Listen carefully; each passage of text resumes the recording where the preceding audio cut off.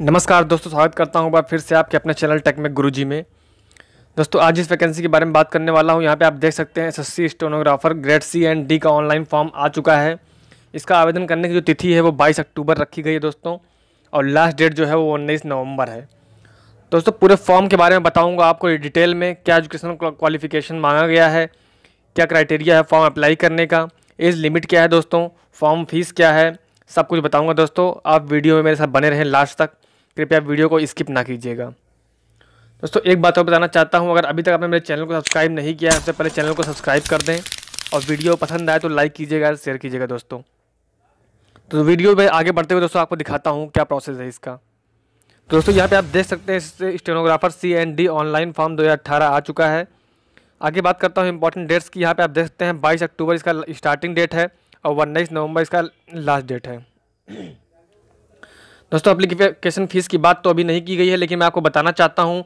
Normally मुझे जहाँ तक पता है, इसका एप्लीकेशन फ़ीस जो होता है जनरल ओबीसी का जो है जनरल और ओबीसी का दोस्तों, वो होता है मात्र मात्र सौ रुपये। वो फ़ीस होता है आपका मात्र सौ रुपये दोस्तों। इसके अलावा एस सी का फ़ीस जो है, कभी कभी पचास रुपये, पच्चीस रुपया होता है, लेकिन ज़ीरो भी हो सकता है। इसलिए बहुत ज़्यादा फ़ीस नहीं है फ़ीस की टेंशन बिल्कुल ना लें आप दोस्तों। सौ रुपये, पचास रुपये फॉर्म भरने के लिए कोई दिक्कत की बात नहीं है दोस्तों। अगर आप फॉर्म में अप्लाई करना चाहते हैं, आपकी प्रिपरेशन अच्छी है तो फॉर्म को अप्लाई ज़रूर कीजिएगा दोस्तों। बहुत ही सुनहरा मौका है एस में सेंट्रल लेवल की जॉब करने के लिए, आपके पास बहुत बढ़िया मौका है दोस्तों। जॉब लोकेशन की बात करता हूँ, यहाँ पे आप देख सकते हैं दोस्तों, जॉब लोकेशन इसका ऑल ओवर इंडिया होता है। अब बात करता हूँ आपसे एज लिमिट की यहाँ पे। सबसे इंपॉर्टेंट चीज़ होती है वो एज लिमिट होती है दोस्तों। एज लिमिट अगर आपका एज नहीं है तो आप फॉर्म को अप्लाई नहीं कर सकते हैं।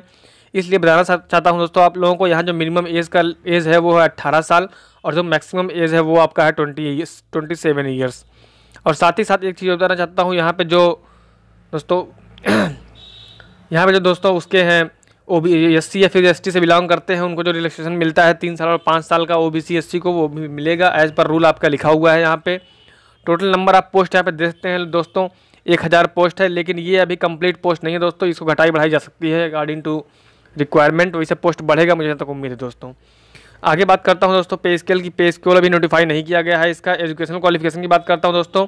यहाँ साफ़ साफ़ लिखा हुआ है candidate who have passed completed their twelfth level examination will be consider for this post मतलब दोस्तों, अगर आप इंटर पास हैं और साथ साथ आपकी एज जो है अट्ठारह साल है तो इस फॉर्म के लिए आप एलिजिबल हैं फॉर्म को अप्लाई कर सकते हैं दोस्तों। फॉर्म को आपको ऑनलाइन एप्लीकेशन के थ्रू ऑनलाइन अप्लाई करना है। एसएससी की जो ऑफिशियल वेबसाइट है, वहाँ पे आपको फॉर्म का डिटेल मिल जाएगा, वहाँ से अप्लाई कर सकते हैं दोस्तों। उन्नीस नवंबर से पहले आप फॉर्म को अप्लाई कर दें। और साथ साथ बताना चाहता हूँ दोस्तों, आपके यहाँ पे नोट लिखा हुआ है। नोट बहुत ध्यान से लीजिए। देखिए दोस्तों, कोई भी इन्फॉर्मेशन किसी भी साइट के थ्रू आप चाहे यूट्यूब से देख रहे हो या किसी अदर वेबसाइट से अगर देख रहे हैं तो उसे श्योरिटी आप प्योर न श्योर ना समझें एकदम दोस्तों। उसके लिए आपको एक बार ज़रूर ऑफिशियल वेबसाइट विज़िट कर लिया कीजिए।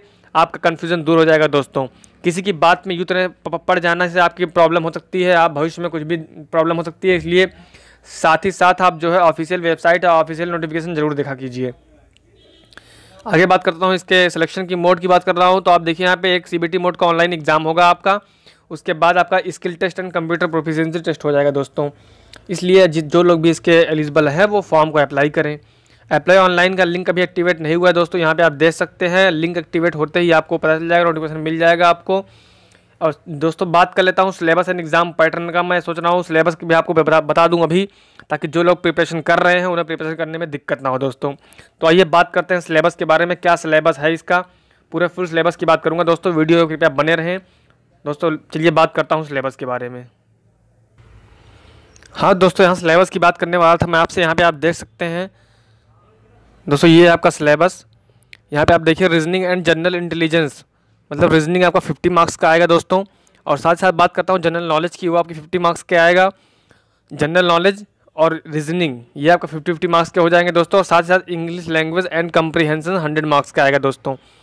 और साथ ही साथ बताना चाहता हूँ दोस्तों, यहाँ पे आप zero point two five marks की निगेटिव मार्किंग है। मतलब one by four negative marking है दोस्तों, यहाँ पे आप देख सकते हैं। वन बाई फोर जो है आपकी निगेटिव मार्किंग है। इसलिए प्रिपरेशन दोस्तों अच्छे से कीजिएगा। अब बात करते हैं जनरल अवेयरनेस में क्या क्या क्या टॉपिक कवर कर सकता है, यहाँ पे आप देख सकते हैं दोस्तों करंट अफेयर है स्पोर्ट्स है साइंटिफिक रिसर्च है economy awards and honours important dates and history यहाँ से आपका कवर होगा दोस्तों जनरल अवेयरनेस का पोर्शन आगे बात करता हूँ इंग्लिश लैंग्वेज एंड कम्प्रीहेंसन की बात तो वो आपको पता होना चाहिए। ये यहाँ के टॉपिक जो हैं, आपके बहुत ही कॉमन होते हैं इंग्लिश के टॉपिक्स तो कॉमन हमेशा सब एग्ज़ाम के लिए होते हैं। तो वही आपका सेम इसमें भी है वो कबुल्ली है सिनानिम्स एंटोनिम्स आपको पढ़ना पड़ेगा ग्रामर पढ़ना पड़ेगा सेंटेंस स्ट्रक्चर और पैरा जम्बल्स और रीडिंग कंप्रीहेंशन दोस्तों, ये इसका इंग्लिश सिलेबस हो गया। साथ ही बताना चाहता हूँ दोस्तों, यहाँ पे आप देख सकते हैं जनरल इंटेलिजेंस एंड रीजनिंग में आपका एप्टीट्यूड और मिक्स कर दिया गया है। ये देखिए आप यहाँ पे देख सकते हैं problem solving skills number series decision making arithmetic computation visual memory syllogism और उसके साथ साथ ब्लड रिलेशन भी आपको, ये इतने टॉपिक आपको कवर करने पड़ेंगे रीजनिंग में। तो सर पेपर सेकंड की बात करता हूँ तो उसमें आपको सिलेबस के बारे में स्किल टेस्ट होगा आपका।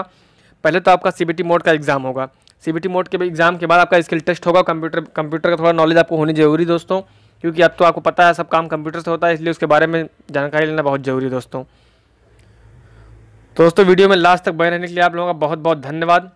आशा करता हूँ आपको मेरी वीडियो पसंद आई होगी। वीडियो का पसंद आई दोस्तों जहाँ जहाँ लाइक कीजिएगा शेयर कीजिएगा, और अगर अभी तक आपने चैनल को सब्सक्राइब नहीं किया, चैनल को सब्सक्राइब कीजिएगा दोस्तों।